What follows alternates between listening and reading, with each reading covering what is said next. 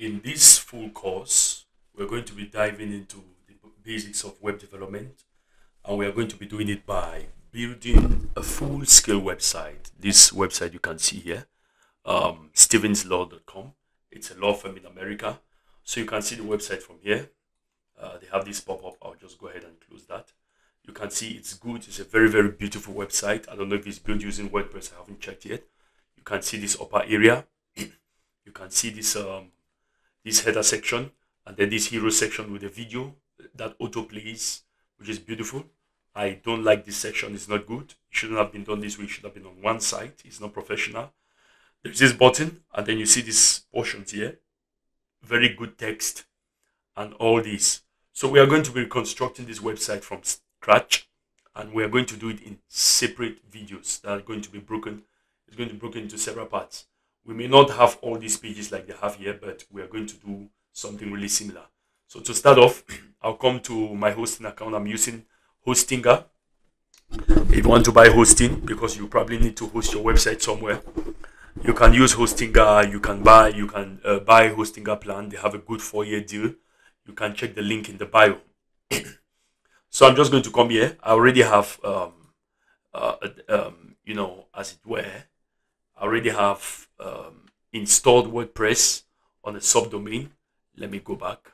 Let me go back. I'll go back. The internet is a bit slow. So in the case where you wanted to use a subdomain, because I'm going to be building this on the subdomain, you click on subdomains, you see it's loading, and then um, the domain I want to use is donodio.com. So I may just see tutorials.donodio.com and I'll click on create. I already have it created. Uh, you can see I already have it created I think it's on the last page. Yes, this is it, fulltutorial.donodio.com. And then what you do next is to come back and install WordPress on that subdomain. So that's how we, this is how we're going to do. We'll come to auto installer. You click on auto installer. And then you choose to install WordPress. It's loading.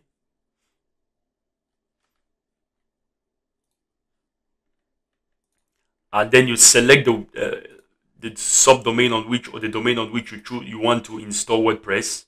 In my case, it is um, full tutorial.donodio.com and then I'm going to choose whatever it is that I desire.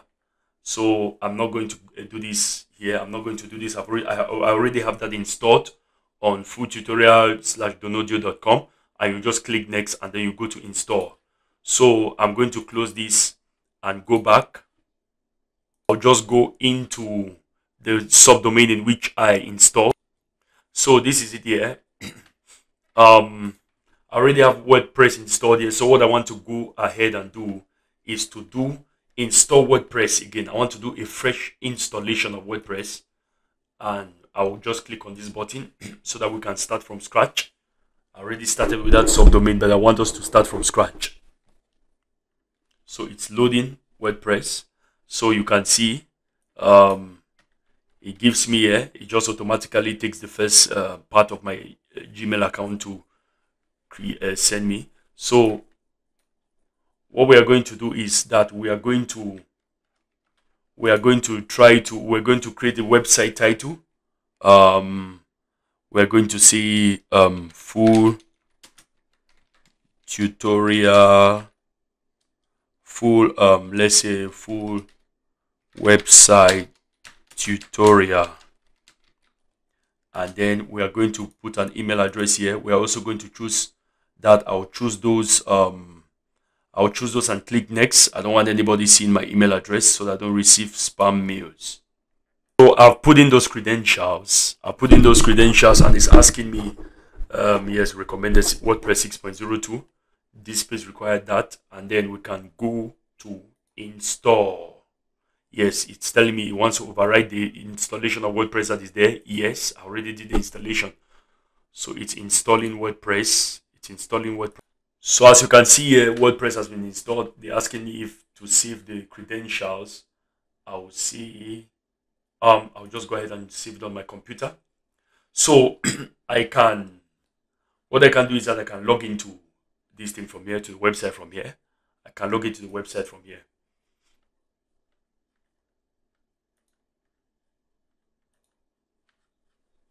It's loading. Internet speed today is not the best. And you can see it tells me, hello, welcome back. Um, hello, world, welcome back. And all this and all this. So what we want to do is to go back to the basics, to the dashboard. So I'm just going to click on this from here and remove. And then reload the screen. I want to go back to the dashboard. So it takes me to the dashboard. One of the things we want to do is to clean this section up. We want to do this. So we are going to remove, remove this, remove all of this. It can be distracting. Site health, we leave site health. Remove this, remove this. So we also want to go to plugins. We want to delete every plugin that is not necessary. Um, you see has a lot of plugins which come by default. We want to deactivate them. It's how you deactivate. You choose all and then deactivate, apply, deactivate and then now we delete them. You can't de uh, delete a web a plugin without de deactivating it. You can see we have no plugin installed there anymore. So if you click on install plugins, it's going to show you no plugins are currently available. What we want to do now is we want to go to themes. We want to check out which themes are there. We see these themes that come by default. We want to delete this one. Delete. Click on this you delete two and then we want to install a fresh theme we will not be using this default one. It's good but we're using elementor so we want to um, click on. You can search from here for hello elementor but there's no need. We already see it here. Hello elementor is um, very compa is built by the page builder company elementor which we're going to be using. You see when we install hello elementor it already prompts us here to download Elementor. Let's go ahead and delete this first. We don't need it. We need just one theme. So our website will be fast. So install Elementor. It's installing. Unpacking. Yes. So you can activate it from here. This is the free version of Elementor. So we're going to skip, skip, skip, skip, okay it's loading this page. We don't need the page right now. You're going to see it's going to bring up a page here but for now we don't want to start building pages yet. We just want to set up everything. And then from the next uh, video we are going to start building the pages. So this has given us another extra information panel. We want to remove this. So we want to add another plugin. Come to plugins.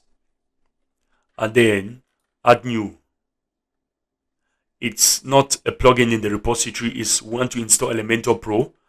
Uh, you have to. It's a paid plugin. For us to be able to do all of what we see on this website, you need Elementor Pro, uh, Elementor uh, Pro version. Uh, for us to put all the functionality and some of these custom headers, you need Elementor Pro version. You can go to the link on my bio and you can use the link on my bio and get Elementor Pro for a discount. So um, I'm going to click on this upload plugin. So I already have Elementor Pro on my downloaded on my desktop. So I'm just going to um, upload it and install it.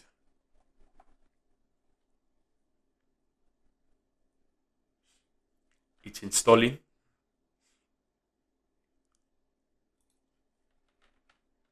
Okay, we have Elementor Pro installed, so we go ahead and activate it from here. Yes, so we have Elementor Pro um, installed. So from the next video, we are going to be uh, start creating pages and sections and start building this amazing website. See you in the next video.